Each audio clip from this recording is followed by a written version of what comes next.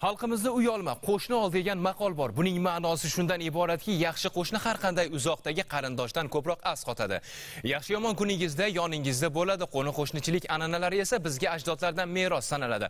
Ammo galdagi lavhada buning mutlaqo aksini ko'rish mumkin. Qo'shnilar arzimas sabab bilan janjal chiqardi. Natijasini esa lavhada tomosha qilasiz.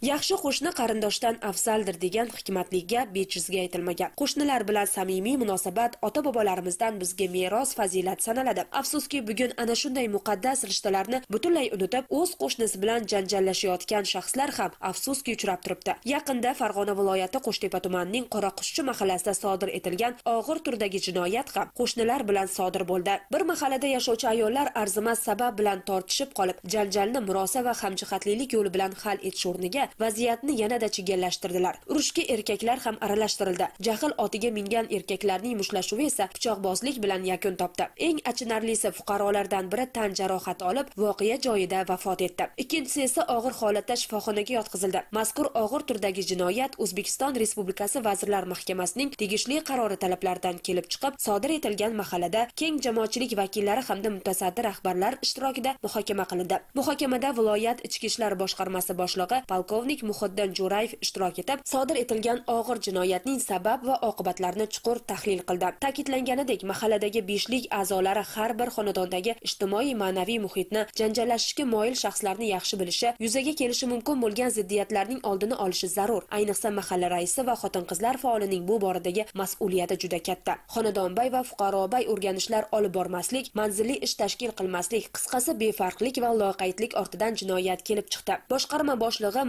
mazkur jinoyatning sabablarini tahlil qilish jarayonida mahallada mas'ullarning faoliyatiga tanqidiy baho berdi. O'z navbatida kelgusida bunday og'ir oqibatli jinoyatlar sodir bo'lishining oldini olish mahalla faollarining eng ustuvor vazifasiga aylanishi kerakligini tushuntirdi. Muhokamada mahalla faollari qo'ni qo'shnilar diniy soha vakillarining fikr mulohazalari ham eshitildi. Yakunda mutasaddi rahbarlar mahalla faollari va profilaktika inspektori oldidagi aniq vazifalar belgilab berildi. Bu kun muhayyim va ilhom rahmonov farg'ona.